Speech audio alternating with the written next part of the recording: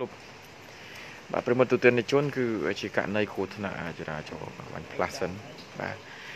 ដែលរថយន្តលុចស៊ីបាទពណ៌ខ្មៅ OX 300បាទដែលមានផ្លាកលេខនេះគឺភ្នំពេញបាទ 2P បាទ88និង19បាទភ្នំពេញ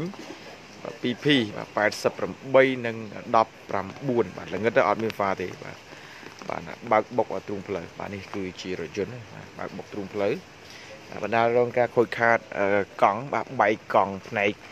ខាងឆ្វេងបាទនៅរថយន្តធ្ងន់ធ្ងរតែម្ដងដែលបើកបរដោយជនជាតិចិនគ្នា3នាក់បាទនៅខាងក្រោយខ្ញុំនេះតតែម្ដងបាទដែលអត់ដឹងថាគាត់បោពីណាទៅណាទេបាទបុកទ្រូងផ្លូវបណ្ដាលឲ្យបាក់រៀលអស់មួយកង់បាទជាស្ថាពរតែម្ដងបាទសម្រាប់មួយកង់នេះបាទនេះប្រិមត្តទូទាំងជនហើយទីតាំងនៅតាមបណ្ដោយផ្លូវ289បាទមុខនឹង បាទផ្សារទូកោកនឹងតែម្ដងបាទមុខនឹងផ្សារទូកោកនេះតែម្ដងហើយគេជាការកត់សម្គាល់ថាទ្រូងផ្លូវចំណុចកន្លែងនេះគឺជាទ្រូងផ្លូវមរណៈមួយបាទដែលប្រឈមមុខជាមួយនឹងគ្រោះថ្នាក់យ៉ាងធ្ងន់ធ្ងរបាទបាទគឺមេឃកំពុងតែរលឹមហ្វ្រិចហ្វ្រិចគណៈពេលនេះគឺមានហេតុការណ៍នៃករណីគ្រោះថ្នាក់ចរាចរណ៍បាទរថយន្តបុកទ្រូងផ្លូវនេះគឺច្រើនបាទសម្បើមមែនតើបាទហើយរហូតដល់ទីតាំងមួយចំនួនហ្នឹងគឺកំពុងតែមានការ គ្រោះថ្នាក់បាទជាបន្តបន្តទៀតបាទជាបន្តបន្តទៀតណាអញ្ចឹងក៏ជាការសំណូមពរក៏ជាការស្នើបាទអធិស្ឋានបាទសម្រាប់ការបើកបរសូមឲ្យមានការប្រយ័ត្នប្រយែងបាទដូចជាចេះគោរពសិទ្ធិគ្នាទៅវិញទៅមកបាទជៀសវាងកុំឲ្យមានហេតុការណ៍គ្រោះថ្នាក់កើតឡើងហើយបើតាមប្រភពព័ត៌មានមកថាក្តាន2នេះគឺមានករណីបុកទ្រូងផ្លូវមួយទៀតបាទប៉ុន្តែយើងគ្រាន់តែមកដល់ផ្សារទូកកសិនបាទដើម្បីផ្ដិតយកទស្សនវិជ្ជា នៃហេតុការណ៍គ្រោះថ្នាក់ចរាចរណ៍នេះគឺនៅតាមបណ្ដោយផ្លូវបាទ289មុខផ្សារទូកកនឹងតែម្ដងប្រិមិត្តនេះផ្សារទូកកបាទថ្មីជ្រើងតែម្ដងបាទហើយហេតុការណ៍នេះគឺគណៈពេលដែលមេឃបាទកំពុងតែភ្លៀងរលឹមហ្វិចហ្វិចបាទ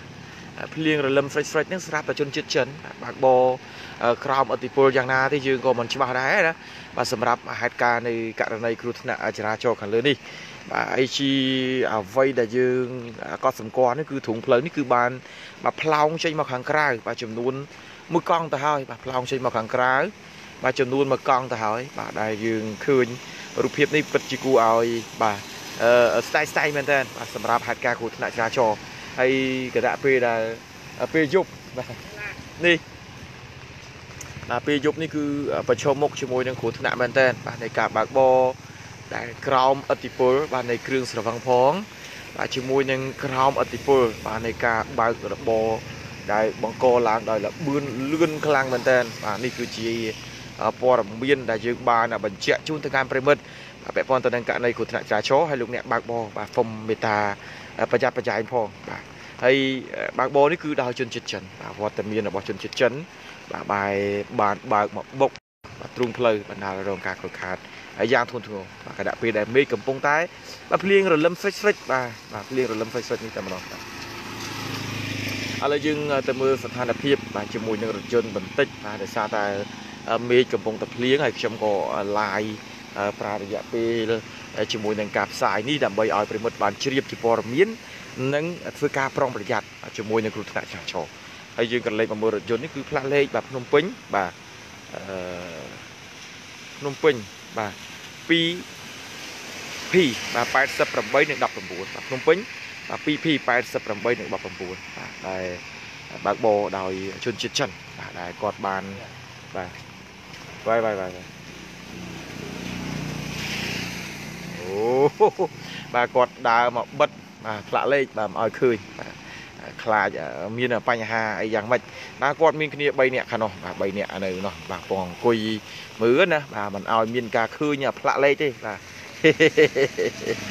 បាទมันឃើញឬឃើញក៏យើងបានធ្វើការផ្សាយទៅហើយបាទគឺភ្នំពេញ 2P បាទ88និង19ណាប្រិមិត្តទូទៅជន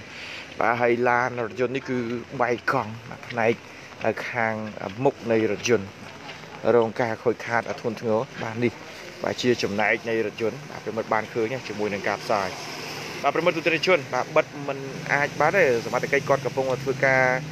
បាទកត់បាទនៅផ្លាកលេខរថយន្តណាបាទអរគុណបាទយើងសូមបញ្ចប់ការផ្សាយត្រឹមហ្នឹងហើយព័ត៌មានបន្ថែមយើងធ្វើការអាប់ដេតបន្តទៅលើគេហទំព័រ Top News Media របស់យើងបន្តទៀតអរគុណសូមជម្រាបលា